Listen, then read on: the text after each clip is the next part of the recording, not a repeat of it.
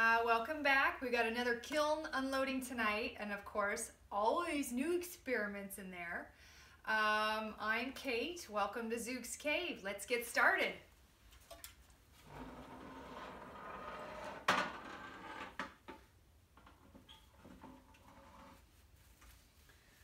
Okay. So, um, probably three or so weeks ago, I was telling everybody about this new dark brown Kentucky brown bear clay that I was trying out. Um, so, of course, I'm not a very good waiter, and I just went ahead and glazed some pieces without testing them out first. So, um, these are definitely experiments to see how my current glazes work with this new clay. But um, I think I think you're gonna like what you see. So um, here is some beautiful brown bear clay. Um, it was kind of a nice teddy bear brown after the first firing and then after the second one it turns a nice dark brown, almost kind of a charcoal brown clay color. Um, and then of course we have new glaze colors too always an experiment happening here at Zukes Cave. So uh, feast your eyes on these beauties. How about that? Um, let's see, we got a couple customer requests. Um, we just got a nice blue rutile mug.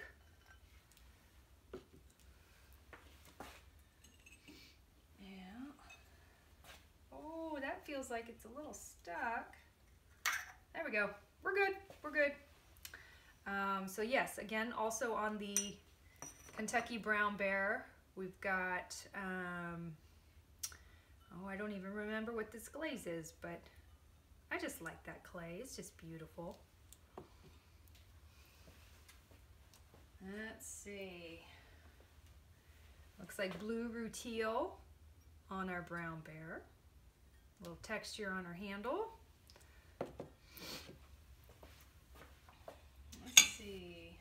Another blue rutile mug. That's just a really, really pretty blue glaze. Breaks a little brown on the rim and the textured parts. Yeah, that's nice. Let's see. We have Smoky Merlot on our brown bear.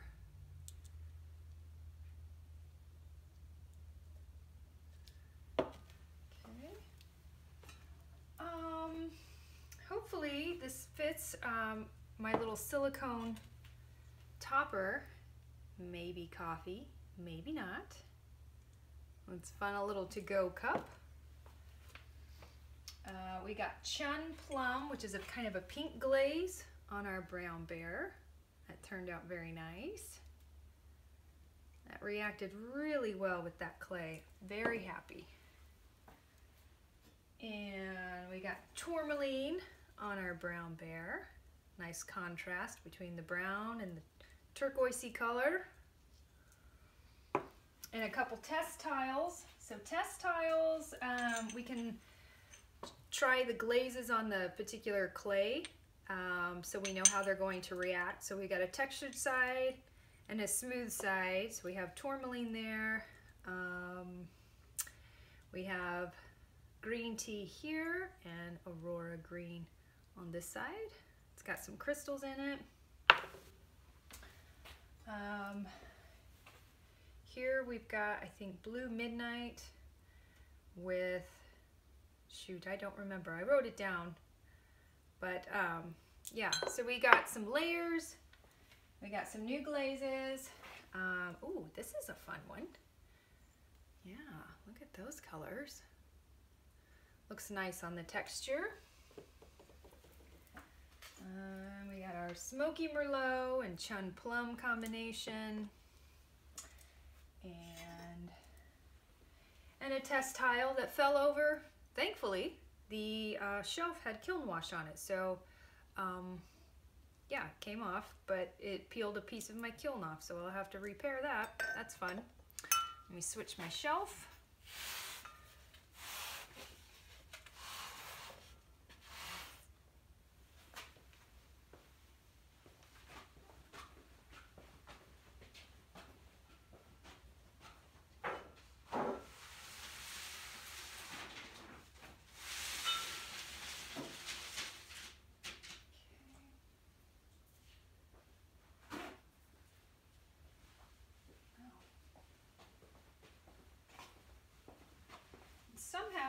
When I peeled that this little cookie off, cut my finger. So that's not cute. Okay, take our cookies out.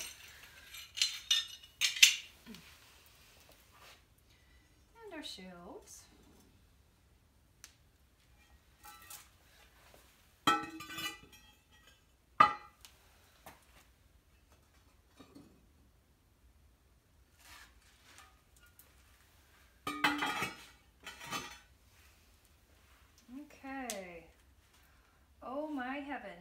We got some good stuff in here. Of course, I'll show you. Hang on. Okay, so in our gnome class, in our first firing, um, we had two gnomes explode and the students decided to turn them into happy accidents, into little planters where they're going to put air plants in um, and it'll look like hair coming out. So uh, we have a couple of those. So this is the bottom part. We've got some fall colors and then we'll have some plant coming out up and over. So uh, this particular gal is going to place a droopy plant so it's going to look like hair coming up over the side. And this student is going to do the air plant so it's all spiky, kind of like the uh, little trolls um, that we used to have as kids. So that'll be fun. Those will be cute to see once they're all planted. And their little respective hats.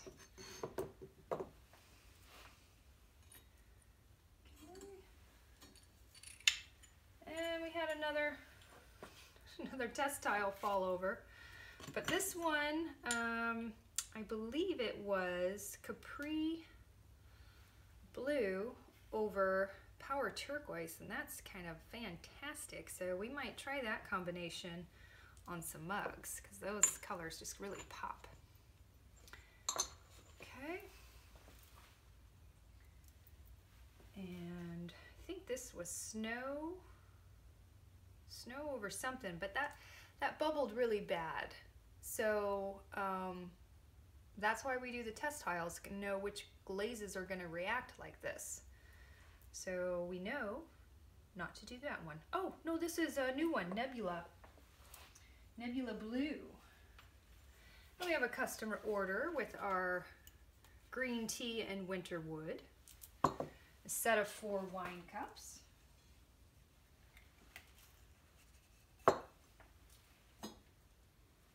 Our little peas on the bottom of these. So yeah, these turned out really nice.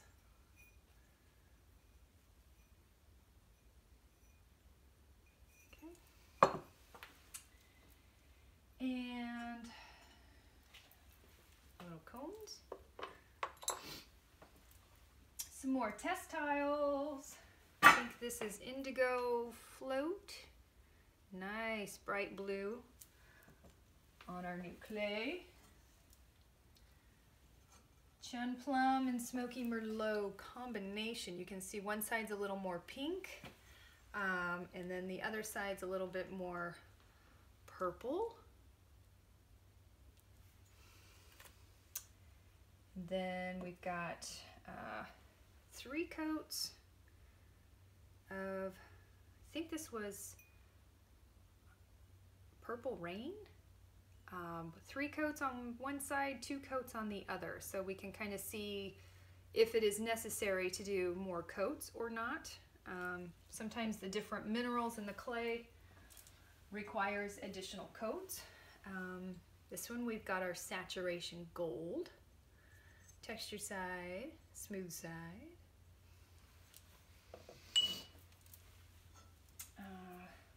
Copper. Ooh, this is fun. At least I think it's fun. And that side. That would look neat on a pumpkin. Just saying. Okay. Um, don't remember what color this one was. Potter's Choice number 22. I'll have to look that up. Um, but that kind of turned a little bit of a matte finish not sure if it was supposed to be or not. Um, these next few mugs are also for a customer order, special request.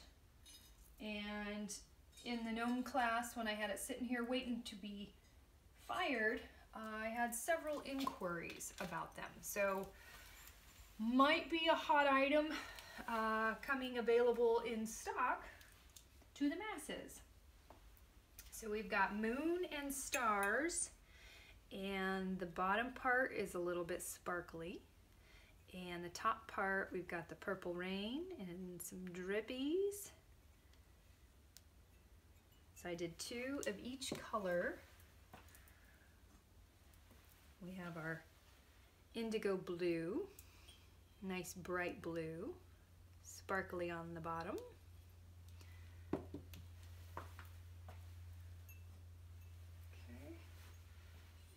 And this one is our sunburn with some flux added for drips. That one turned out really well. Very good. All right. So we got two of each of those. Let me switch my my board.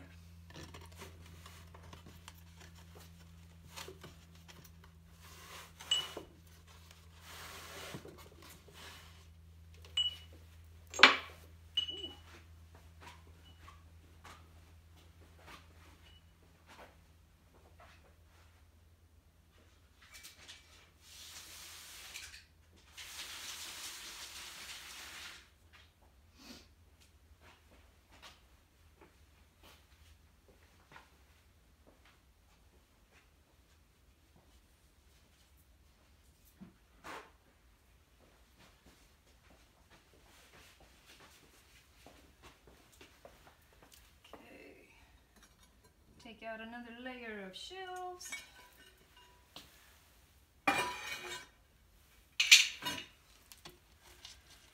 All these little peas. Put those on the back side. All right, now we're getting down into our gnomes.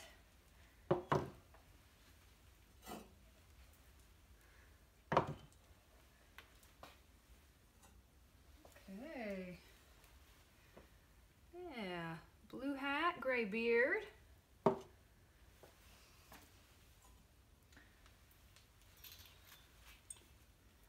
Sparkly mustache and beard.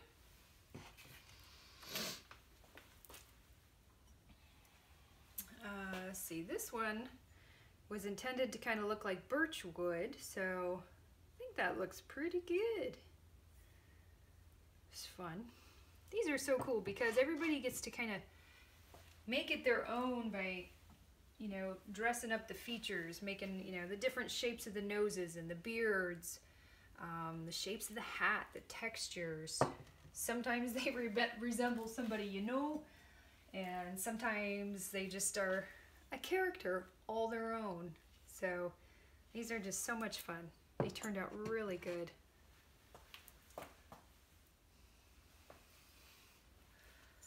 Okay, yes. Um, more pictures of this little guy to follow. Uh, he's got some embellishments that will be added at a later time.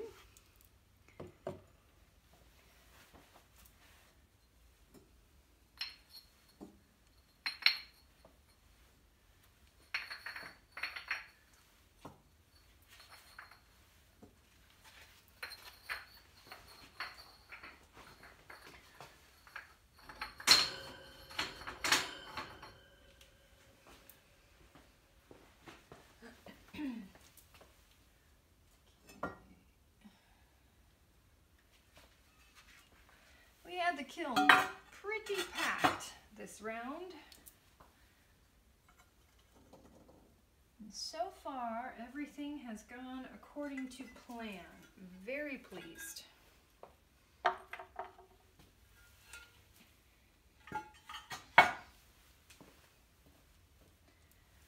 All right, some more gnomes, little woodland gnomes. These are great for year round. Uh, maybe even put them in your planter inside your house. Uh, bring a little character inside, you know?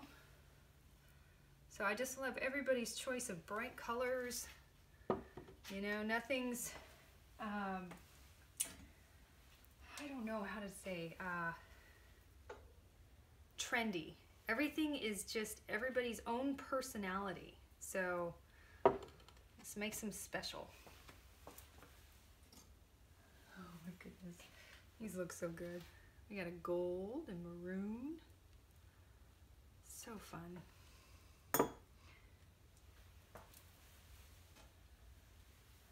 All you Harry Potter fans.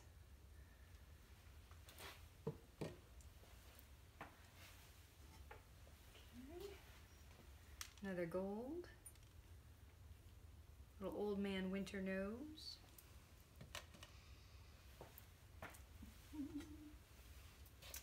Last gnome. Okay. And I'm just gonna leave those there for a minute. Um, couple new things that I've done.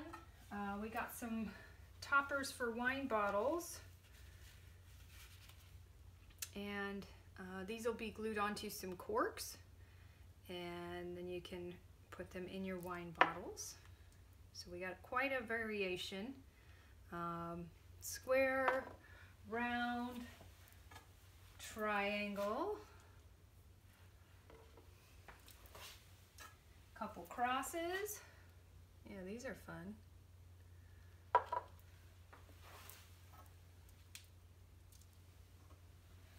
Okay, we got a copper one, and sunflower. And then these next two items, um, these are the wall pockets that we're gonna do in our next class in February. Um, let's see, I believe it was February, February 9th and 23rd. So uh, if you're interested in the class, be sure to go to my website, zukescave.com. Uh, you can sign up there for the class. I will be uploading pictures and um, making the class available for sign up probably probably tomorrow.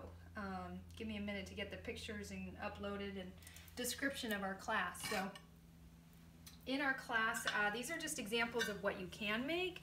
They don't have to be the same shape as these. They don't have to be the same texture. So um, I invite you to use your imagination, maybe choose a different shape, approximately the same size.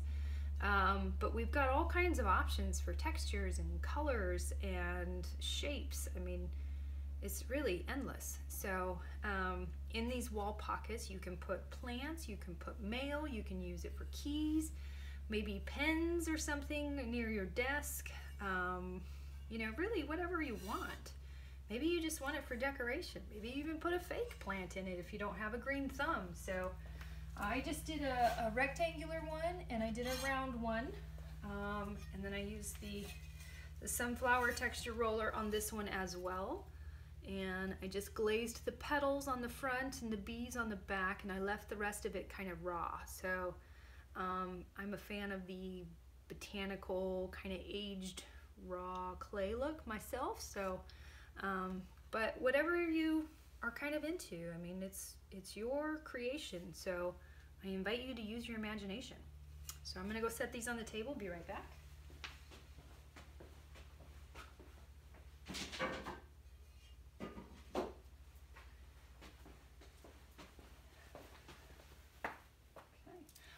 And I got one more little thing.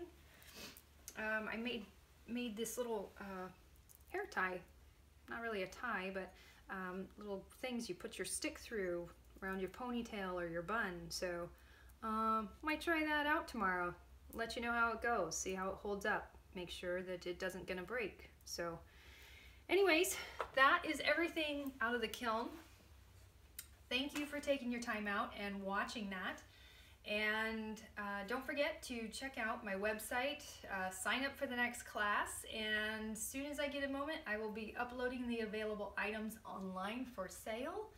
And if you see something you like and you live local, reach out to me. We can arrange some kind of a pickup. Um, I'm in Sheridan on Thursday nights. If you're in the Lebanon area, I could probably meet at CVS or something one evening and, and do a drop off. So, um, Till then, take care and create something all your own. Thanks.